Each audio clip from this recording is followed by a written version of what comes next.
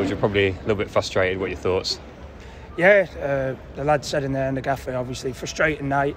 I think it was just one of those nights. You know, we, we could be playing for three, four days and we still wouldn't score. You know what I mean? But the positive to take from it, you know, another clean sheet, and you know we we've had loads of chances to go and get a goal. We just haven't got it in the back of the net. But you know, positive. At least we are making chances. You know, I don't think they even had a shot. Mm. So you know, it means we're pinning them in, and uh, yeah, they're the positives to take from it.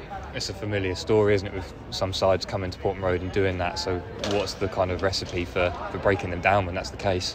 Yeah, I think I think you can see in you know in the game like we did break them down. It yeah. was just that last shot that we uh, we haven't put it in the net. You know that that comes from everybody though. I'm not just saying it's strikers. You know, Wolfie's had a header. I've I've had one from a free kick. You know, which I've got a nick on. Hasn't gone in.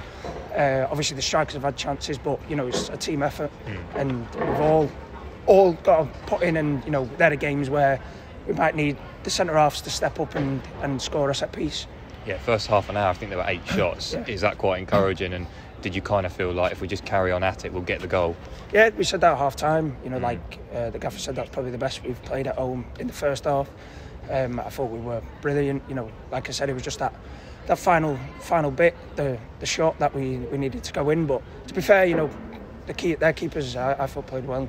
Had a couple of good saves, um, which on another day, you know, we might not get to them. So um, all credit to them. You know, they had a game plan, stuck to it, and uh, it was just the final final bit for us. You mentioned another clean sheet, and it keeps the run going. How does that make you feel? Yeah, it's good. Obviously, as defenders, well, not even defenders. You know, it's a team effort. Like I said, we all we attack together, we defend together. Um, so you know, as a whole, the whole team's buzzing to get another clean sheet. And I know um, the focus is always on us, but you probably look at a few results elsewhere tonight, and it's kind of the same story going into another game, really.